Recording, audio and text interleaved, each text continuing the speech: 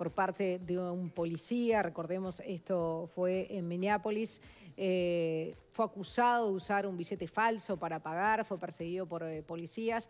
Luego se pudo comprobar a través de videos que realmente él eh, no se opuso a la detención ni, ni fue violento, pero la policía lo tira al piso y lo termina ahogando con una rodilla, impidiéndole respirar. Todo esto fue filmado por una persona que pasaba por allí y, luego de conocidas las imágenes y el asesinato, la cantidad de protestas en muchísimos estados, justamente de Estados Unidos, algunas más pacíficas que otras. Esto se dividió, en el fin de semana hubo muchos saqueos también y por eso se decretó el toque de queda en varias de las ciudades.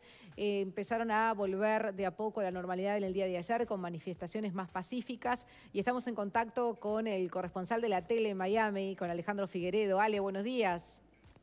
¿Qué tal, Nole? Un beso para vos, un saludo para Leonardo, para Juan Miguel y para toda la audiencia de, Desayuno. ¿Cómo están? Bien, muy Estoy acá, Ale, ¿qué tal? Facundo aquí. Facu, escuchado en los últimos segundos, por eso un abrazo. Ale, bueno, últimamente la verdad que los contactos contigo eh, casi siempre son malas noticias, ¿no? Desastres naturales, estas situaciones. Eh, ¿Cómo estuvieron viviendo el fin de semana Miami que tuvieron toque de queda y cómo están estas últimas horas? Bueno, eh, Miami se está tranquilizando de alguna manera. Todavía continúa el toque de queda del condado de Miami-Dade hasta nuevo aviso. Todas las noches, a partir de las 8 de la noche hasta las 6 de la mañana, hay toque de queda, como pasa en muchas ciudades de los Estados Unidos. Como bien decías, a lo largo de los días se ha ido tranquilizando un poquito la efervescencia, pero de todas maneras continúan algunos puntos del país con eh, manifestaciones que son en algunos casos muy violentas. Ayer hubo eh, manifestaciones en Nueva York desoyendo el toque de queda. También en Portland, Oregon, se produjeron algunos incidentes, o sea que todavía eh, no se ha podido recuperar el control, como se dice por aquí, de todas las ciudades como se espera por parte de las autoridades. Ale, ¿qué, es lo que implica exactamente el toque de queda? Bueno, lo que implica es que no se puede salir salvo en determinadas este, circunstancias y que las autoridades están habilitadas para detener a aquellas personas que no cumplen con esa medida. En su gran mayoría son manifestantes que lo hacen de exprofeso. A veces puede ocurrir que alguna persona salga por X cuestión. Pero, por ejemplo, porque esto puede llamar la atención, dentro de las excepciones que están eh, establecidas en este toque de queda, una persona puede sacar su perro a pasear, por ejemplo, en un radio, no, no, no recuerdo exactamente la distancia, pero eh, relativamente razonable con respecto a su domicilio. Bien, Ale, bueno, estos eh, hechos eh, en contra del racismo en Estados Unidos no son los primeros. Quizás ahora la agita en muchísimos estados hizo sentir mucho más. Y Donald Trump habló de eh, manifestantes violentos, terroristas domésticos. Vamos a acabar con la anarquía y habló de que es el presidente de la ley y del orden y de sacar el ejército a la calle. ¿En qué está esa decisión? Bueno, hay, hay, varios puntos. Por aquí, el presidente de los Estados Unidos le ha puesto nombre a la organización eh, que está por detrás de esto, ¿no? Es el grupo Antifa. Él dice que las manifestaciones están organizadas por este grupo que además lo eh, integró a la lista de organizaciones eh, terroristas con un matiz. Rápidamente los analistas salieron a decirle que no puede hacerlo porque la Constitución le permite al presidente de Estados Unidos pasar a integrar a la lista de organizaciones terroristas a organizaciones que están fuera del país pero en este caso él está, eh, digamos, adjudicándole la responsabilidad a una organización que está este, organizada, eh, establecida aquí en los Estados Unidos. Por eso, bueno, Trump cada vez que habla, ustedes saben, eh, se gana nuevas reacciones, se gana nuevos enemigos y realmente ha sido una semana muy activa para el presidente de los Estados Unidos, que en el último encuentro virtual que mantuvo con los gobernadores, bueno, los exhortó a utilizar la Guardia Nacional. Y aquí también está bueno establecer algunos puntos con respecto a cómo se organizan eh, las fuerzas en los Estados Unidos. La Guardia Nacional es una guardia voluntaria que está bajo las órdenes de cada gobernador. Por eso es la advertencia del presidente. Convoquen a la Guardia Nacional. es llamativo que se llame Guardia Nacional, pero es de jurisdicción estatal. Y agrega en esa advertencia el presidente, si no lo hacen o si no pueden recuperar el control de sus estados, yo convocaré al ejército de los Estados Unidos. Ahí sí estamos hablando del ejército tal como lo entendemos nosotros. De hecho, por ejemplo, la Guardia Nacional solo tiene ejército y tiene fuerza aérea, no tiene marina, por ejemplo. Pero en este caso eh, el presidente entra en una publicidad claramente política también, porque hay muchos gobernadores que son de su partido, del Partido Republicano, pero muchos son de la oposición, del Partido Demócrata, y se han establecido algunos conflictos muy puntuales, por ejemplo, con Andrew Cuomo, el eh, gobernador eh, demócrata de Nueva York. Eh, buen día, Alejandro. Ayer este, escuchaba al abogado de la familia de, la persona que fue George Floyd. George Floyd, la persona que, fue asesinada. Eh, y también hay dictámenes forenses que demuestran que su muerte no se produjo solo por el, acción de, el accionar de un policía, sino de otros que también lo estaban, no salen en el video, pero también lo estaban aplastando. Sin embargo, hasta ahora que tengo entendido que el único que fue separado de su cargo es el que aparece en el video, no los otros. ¿Ha habido una reacción frente a estas noticias que, van aclarando cómo fue que fue muerta esta persona? Sí, sí. De hecho, hay, algún, algún matiz con lo que nos manejaba Leo. Los cuatro funcionarios involucrados en el operativo el día que trascendió el video, fueron separados de su cargo.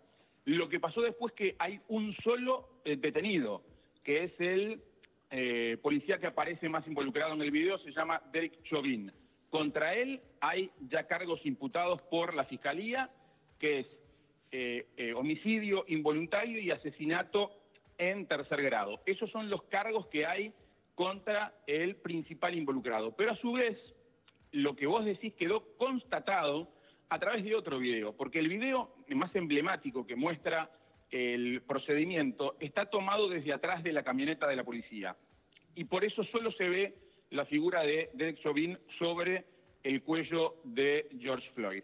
Pero a los pocos días trascendió otro video tomado desde la vereda de enfrente, donde se ve lo que vos manejabas, que además de Chauvin hay otros dos policías que están ejerciendo presión pero claro, no a la altura del cuello. Lógicamente, por el tema del físico eh, de Floyd, están eh, corridos hacia las piernas, pero son tres los que están apoyándose sobre Derek Chauvin. De todas maneras, insisto, por el momento hay solo un detenido y como bien manejabas también, el dictamen de esa autopsia independiente que contrata la familia muestra que la muerte se produjo por eh, asfixia eh, por motivo de la compresión de los policías sobre eh, la espalda y el cuello de George Floyd.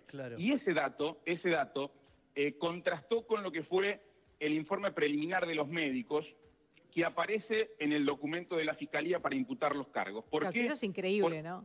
Claro, en ese primer informe se destaca que la muerte no se produjo ni por asfixia ni por estrangulamiento y habla, incluso ese mismo informe, habla de algunas sustancias que posiblemente hubiese ingerido George Floyd en las horas previas al eh, procedimiento y manejan la posibilidad de que, por supuesto, el accionar de la policía, bueno, terminó siendo un cóctel para con algunas, eh, no habla de enfermedades preexistentes, esto nos estamos acostumbrados por el tema del COVID, pero sí la situación de salud eh, de Floyd que hubiese conspirado contra eh, su, su propia salud. Recordemos que, por otra parte, el propio informe destaca que eh, Jovín y los policías estuvieron casi nueve minutos apoyados Ahí tengas o no tengas antecedentes respiratorios, lo que sea. Ocho minutos y 46 segundos es, la, la, cifra que, se volvió más emblemática. Y tres de ellos, eh, dos minutos 53 segundos, estando inconsciente. O sea que eh, es, un informe que si bien tiene ese, ese matiz de la, de la autopsia que llamó mucho la atención, también tiene otro tipo de elementos que son los que en definitiva eh, llevaron a la Fiscalía a poder iniciar la imputación legal contra el, el policía. Claro. ¿Y cómo, cómo pueden contar esto un punto final? Porque Trump amenaza con sacar el ejército a la calle, la gente reclama porque la categoría del homicidio sea voluntario y no involuntario como está, está actualmente. ¿Cómo, ¿Cómo se le puede encontrar un final a esto? Porque parece que las tensiones solo aumentan.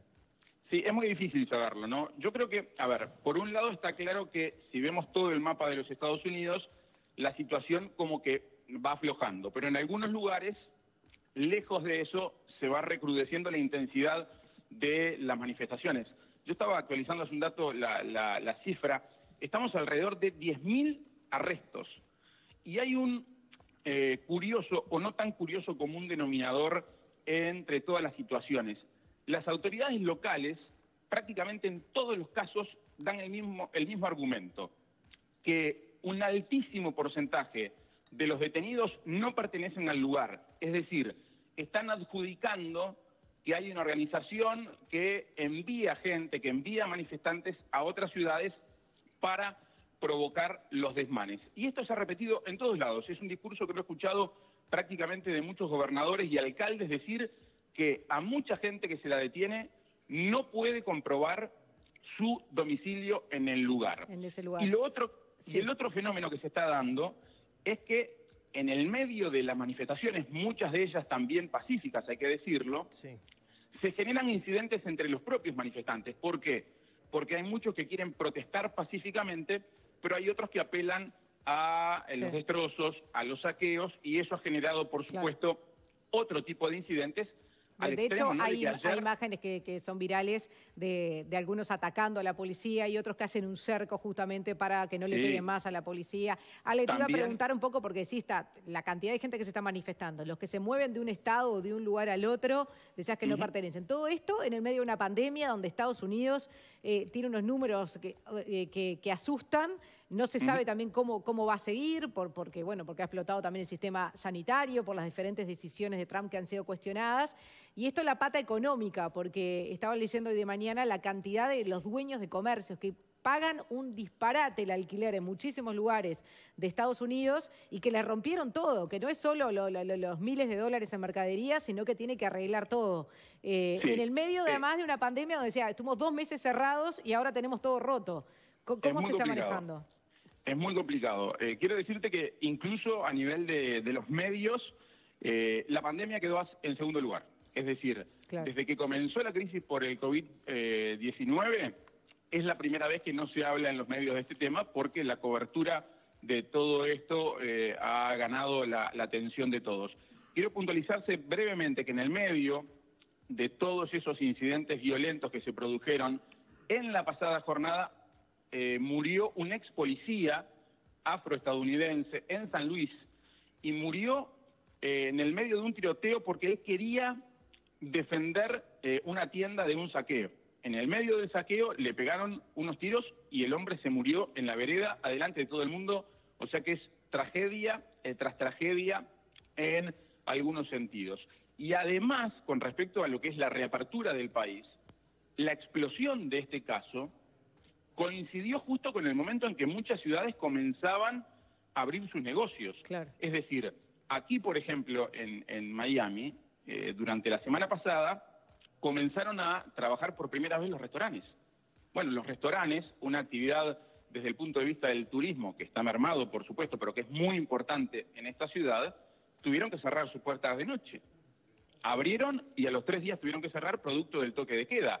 Lo mismo con la actividad comercial, comercios que ahora, si bien muchos de ellos aquí no recibieron el impacto de la agresión, toman sus recaudos y comienzan a cerrar también y hasta, hasta tapiarse. Ayer veía en eh, la Aventura Mall, la tienda de Apple, quedó totalmente tapiada, como cuando llega un huracán, para evitar un posible saqueo. En el Bayside, que es un paseo comercial tradicional aquí en el downtown de Miami, hubo roturas muy importantes durante el fin de semana, quemaron patrulleros, es decir, eh, es una escalada de violencia que llegó a un pico en algunos lugares, comenzó a, decaer, pero, eh, por ejemplo, acá todavía no se sabe cuándo eh, el alcalde de Miami-Dade va a levantar el toque de queda. O sea que es una situación bien complicada en el marco de otra situación muy complicada como es la del el COVID, con más de ciento no digo más porque la cifra todavía no está confirmada al día de hoy, pero en el entorno de los 110.000 muertos